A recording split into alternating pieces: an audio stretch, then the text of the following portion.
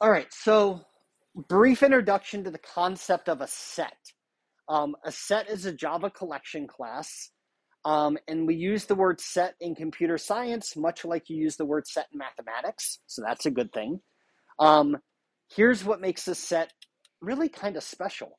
Um, a set is unordered, meaning it doesn't make sense to say what is the first element in the set, what is the last element in the set. There is no ordering to the set. Um, not only is it an unordered collection, the elements in it are unique. We can't add the same, or rather, a set can't contain two of the same element. Okay. We can add duplicate elements to a set. The set doesn't care, but it only ever holds on to one. If you try to add a second, a third, or a fourth, it's like, yeah, I've already got this in my set. We're good. So my my mental model I use for a set is just like a bag that you can throw stuff in, but you can only throw one of each thing in it, and there's no order to it. It's just sitting in the bag. It's all like jumbled up together. Um, a good question that you might have is like, this sounds awful. Why would I ever use a set? What if I do want like duplicate elements? What if I do care which one is first? Um, and you're right. If you care about any of that stuff, then don't use a set. You know, use our linked list or something. But often we don't care about that. We just need to keep track of which elements we have, and we don't. We just need to know like we have them or we don't. We don't care about the order. And so the set data structure is optimized to be really fast, like crazy fast, like order one fast at inserting, removing, and finding elements. Um, and we'll talk more about like how does it do that so quickly um, in, in a little bit, but then more later in the unit. Um, so a set is faster than a list to insert, remove, and find elements. Um, you can still iterate through everything in a set. Think of it as like you had a bag full of stuff and you just reach in and pull something out and you pull something else out. Um, it's just that the order isn't necessarily anything that we would expect or that would necessarily make sense to us. Often we refer to it just as set order, like they come out in an order, but it's not necessarily um, a sorted order. Although we'll we'll talk more about that. Um, set uh, we don't make a set directly. We choose to either make a hash set or a tree set. Okay, so there's two specific classes um, that we make, and and whether which one we make depends upon um, what requirements we have. So let's actually look at that. Hash set hash set is our, our oh i'm sorry yes. Is it like random? Like you want to grab something randomly, can you use it? Or? It is not random. So there is an order to it and there is a repeatable order to it. It's just not it's the order of their hash codes basically. Um, so it's not random but nor is it something necessarily useful to us. Um, so if we can we prefer to use a hash set because it's the faster of the two sets um, the way it actually works internally is the a hash code is computed from the element. It uses the hash code method of the capital O object class to do that, um, which means that the actual class must override hash code and provide a valid implementation to it. The class must also have a valid implementation for equals. We learned a little bit about the equals method um, last year in AP Computer Science. Um, we'll learn more about like how equals really works and how to write an equals method in the in this class, um, which is something that we we certainly didn't do before. So, if we're going to use a hash set, the the type of the objects, the class of the objects in the hash set must properly override hash code and equals for this to work, or else it's just going to fall apart. But it's really really fast. There's also what's called a tree set. Um, and we're going to learn more about trees in chapter 17, um, but it's using a sorted tree structure to store the elements. Um, it's still faster than a linked list, um, but not as fast as a hash set. The elements, the class, the ele- class of the elements in a tree set must implement the comparable interface. Uh, you may remember that. That has the compare to method. So it determines if two elements are equal or one is less than or greater than the other one. Um, we only use a tree set when we need the iterator to visit the elements in sorted order. So if we actually care about sorted order, we'll use a tree set. It'll be faster than a linked list, but not as fast as a hash set. If we don't need to visit the elements in sorted order, we're definitely going to use the hash set much faster. Um, sets are really straightforward. These are the primary methods we care about. This is it. We can add an element to a set. Um, if the element was already in the set, we don't get an exception or anything. It just returns a value of false, which is really convenient. So sometimes we don't want to bother to check if something's in a set. We'll just keep calling add. And if we have duplicates, eh, we don't care. Set doesn't care. It's great. Um, contains is how we check if an element is in the set or not. Just returns a Boolean. Um, and remove, and we specify a value, it will find that value in the set and remove it. Um, it returns true um, if the value was in the set. Um, and it, it just returns false if it's not. It doesn't, again, throw an exception. Okay. So we have a lot of flexibility using these methods. We're not going to get exceptions. Um, we can have some really high performing algorithms as a result. All right, let's take a look together at like, let's make this more concrete. That's all pretty abstract. So like what would be a good application of a set? So let's look at our, in our VS Code for chapter 15 class notes, we're gonna look at this word analysis file. And I've already done a bunch of imports for us. I've got a little structure of a class here called word analysis. There's a main method here we're going to fill in um, in a moment here. And then I have another method here called read words, um, which will read words from a file. We've already got the Java doc comments here and things. Basically, what we're going to do um, is to read text from a file, um, like a story, uh, first, we'll just start with some words, but eventually we're going to read in the entire text to Through the Looking Glass um, by Lewis Carroll. Um, and then we can do some simple analysis with it by using sets. Um, we can we can say we can compare the novel through the looking glass with our dictionary um, and do some comparisons there. So let's see how that could how that could work. Um, so we're going to add some code to the main method first. We're going to kind of program this in a top-down manner. So we're going to start with um, the high-level stuff and then go from there. So let's do that. Let's see. We're going to first, um, we're to read the dictionary. So there's a file already saved in our GitHub repo, which is a dictionary file. Um, and we're going to read the novel. We're going to read both of those. And we're to, we don't care about we just care about if a word is in the dictionary or if a word is in the novel. We don't care about the order. We don't care about how many times. Uh, we just want to know it exists. So, perfect application to have a set of strings. So, we'll ha- create one variable called dictionary words, which is the set of all words in our dictionary. And we're going to call the method that we'll implement in a moment read words and the path to that is inside the source folder. There is a file called words. And then we're going to have another set of strings called novel words, meaning they're words in the novel, not like unique words, I guess. But it's a set, so they are unique words. I don't know. I guess you can interpret it either way. Anyway, read words and that is called through the looking glass.txt is the name of the file. You can see these files right here. Here's through the looking glass, here's words. There's another file here called War and Peace, which is the complete text of War and Peace, uh, which you can play around with later if you want as well. For now, we're just going to assume the read words method works. It opens the file, reads all the words out of it, throws it in a set, returns a set of all the words in that file. So let's just focus on the analysis we can do once we have a set of words. We can do some cool stuff. Here's the first example. First analysis. Let's print all the words that are in the novel, but not the dictionary.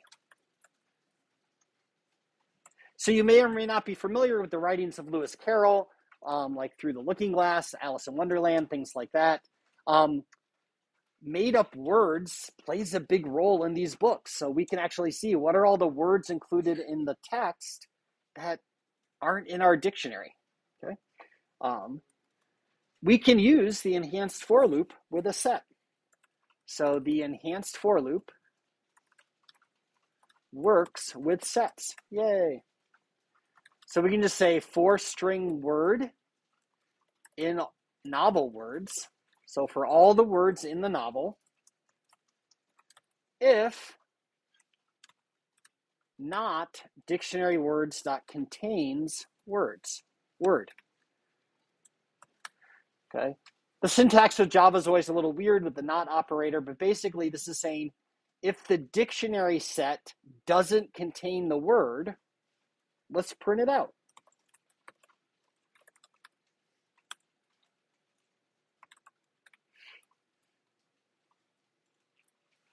Cool.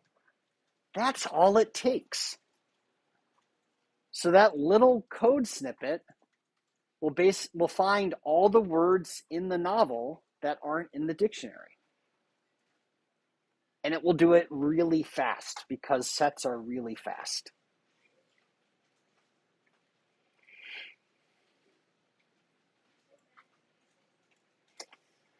We can also do some simple analysis like how many unique words were in the novel. Let's just print that out too while we're here. System.out.println we'll say unique words, and then we'll concatenate novel words dot size. So the size method works um, on a set just like it would in a list or anything else.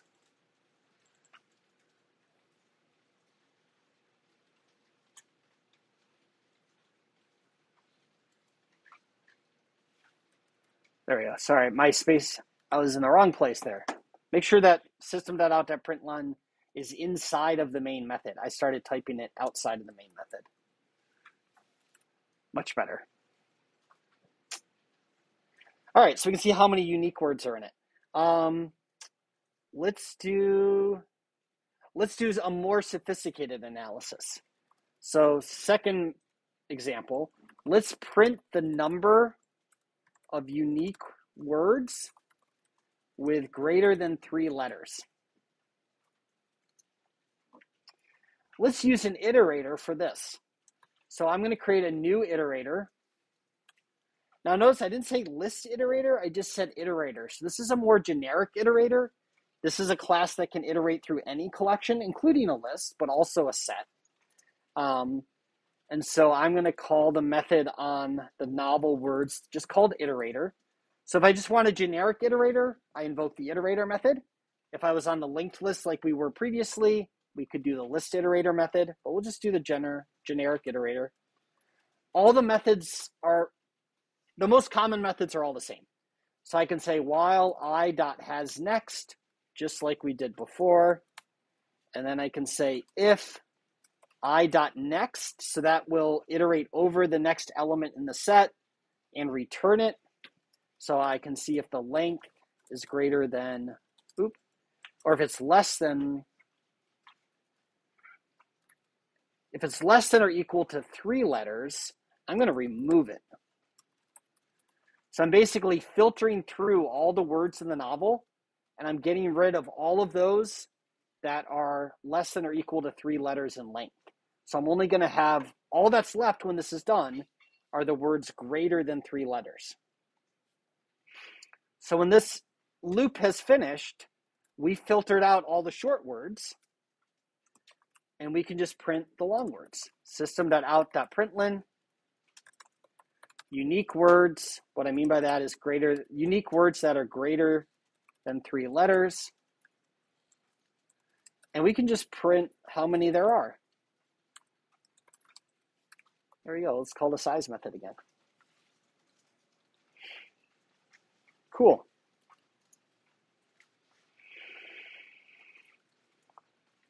So key things we've seen here so far, we can keep calling the size method and get the number of elements in the set.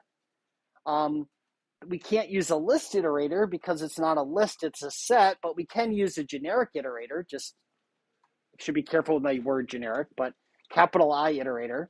Um, and we can use the same has next, next methods, remove methods that we're accustomed to.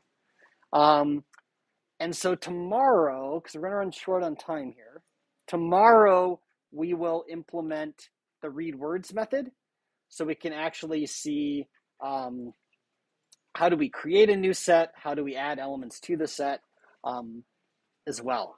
And then we can actually see, uh, perform our analysis of through the looking glass. So go ahead and commit uh, your changes. I will do the same. And then we are all set. We ran a little bit short on time, but we saw a few good examples. Phones away, like in a bag, in a pocket, not on your lap under the table. Excellent.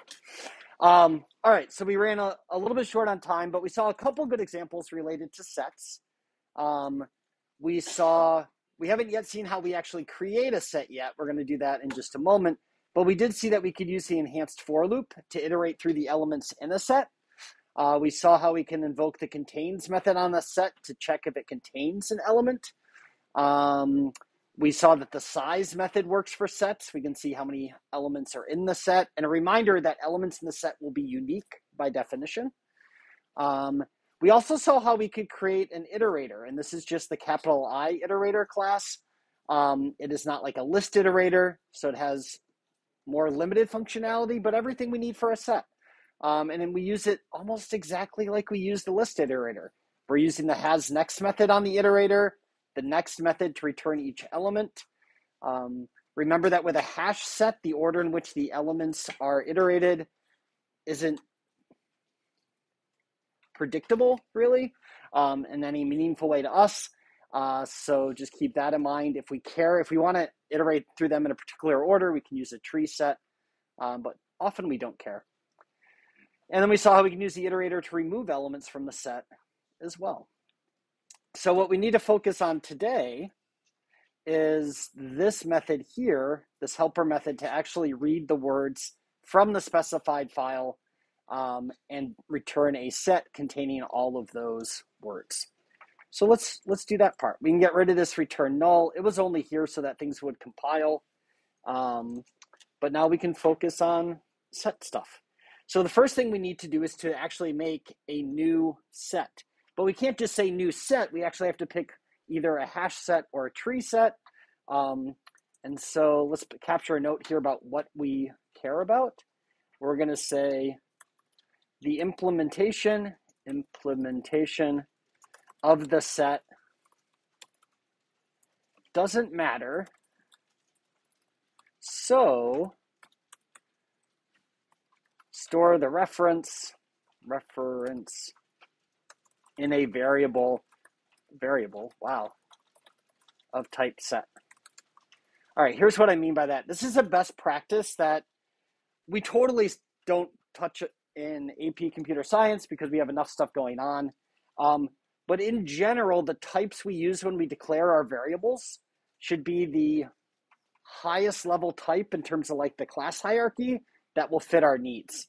Um, so since we don't actually care if it's a hash set or a tree set, this local variable here should be of type set, just a set of strings. Um, now we can't say new set. Um, I believe set is an abstract class. Um, so instead, we have to pick one of the specific concrete classes like hash set. So we can say new hash set. Um, and so this code compiles because a hash set is a set. So we can assign it to a variable of type set. That's why this works.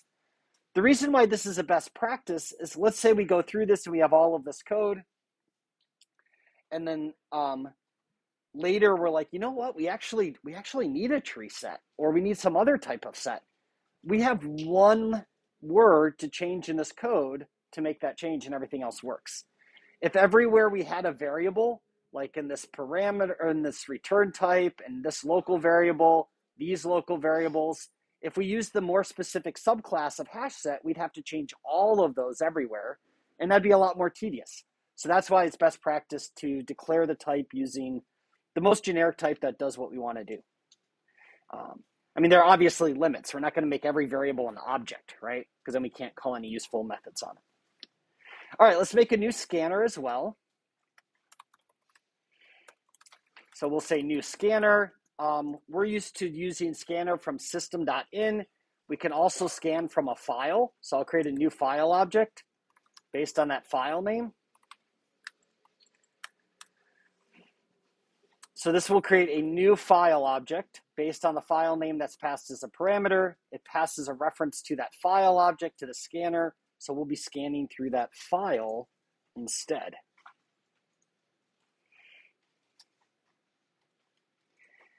We want to basically read all of the words and we want to read one word at a time. Um, but we don't care about like punctuation because we only want the words. So the default delimiters with scanner, you might remember, are white space, spaces, tabs, new lines, things like that. We're going to change that. We want to use any character, character, other than A through Z lowercase or A through Z uppercase as delimiters. And the way we do that, and unless you did an extension previously, you haven't seen this before, there's a method on the scanner object called use delimiter. And we can pass what's called a regular expression um, or a regular expression pattern to describe those characters that should serve as delimiters. Um, learning regular expressions and regular expression patterns is like really useful. Um, and I don't know if I put it in this unit or if it's in the next one. Nope, not here. Um, coming up as an extension resource, so I always have these extra resources at the bottom of each page. I have an extension resource that links to some good stuff on regular expressions. I just don't have it yet. Um, I use regular expressions a lot just to like manipulate text. Here's the regular expression to say any character that's not A through Z lowercase or A through Z uppercase. So we put our pattern in quotes. We use square brackets to indicate a set of characters. But if that square bracket starts with a caret, that means not. So it means everything except A through Z and A through Z. And then after the square brackets, we put a plus, which means one or more of those. So if there's one or more characters that aren't A through Z, treat that as a delimiter. Okay. So if there's like three periods in a row, it counts as like one delimiter.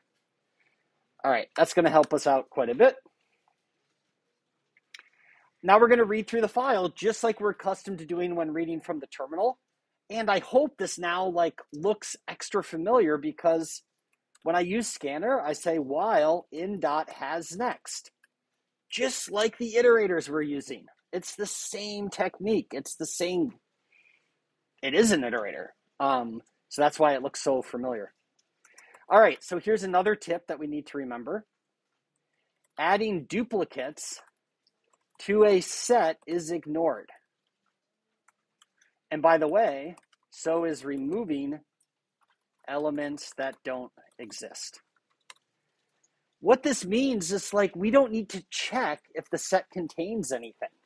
Instead, we'll just call the add method on our new set. And we're just going to add whatever it is we read from the file. But let's make it lowercase while we're at it because we don't want to treat like a word with a capital letter and a word with a lowercase letter as two different words. It's the same word, the capitalization is just different. So read the next word from the text, from the file, make it lowercase, add it to the set. And then we can just say return words. We're done. That's all it takes. So one cool thing here is like by using a set, the amount of code we had to write to get a collection of all the unique words in a file was very, very, very little. This is it, which is cool. All right, now the fun stuff. So now that we've written this, we can actually run do, do, do, the main method and we can see all the analysis. All right, these are all the words that show up in through the looking glass that aren't in our dictionary file. Okay. Um, Jabberwocky. Oh, I love the poem Jabberwocky. Uh, Mimsy. Uh, expect Borogoves to show up here somewhere. All sorts of good stuff. There it is. There's Borogoves. Bandersnatch. So many of these words are from the Jabberwocky poem. There's some weird stuff here, like there's apparently a URL in the file. Um, there's some Roman numeral page numbers, some other strange stuff. There's uh, some British spellings, so like color with a U, um, favorite with a U, so that's a little different. But still, it's kind of cool to just see how little code it took to come up with this list of words. And then we can see that the number of unique words and through the looking glass is 3,260. And the number of words that are greater than three letters is 2,999 in the text. Cool. So we performed some basic data analysis of that novel um, with very, very few lines of code. I hope this illustrates the power of choosing the right collection for your application. We could have written this code and used an array list or used a linked list but a set just fits so well. Um, and it makes it so much easier. We didn't have to write an algorithm to remove duplicates like we, we wrote last year. Um, we just use a set and it does all that stuff for us. So.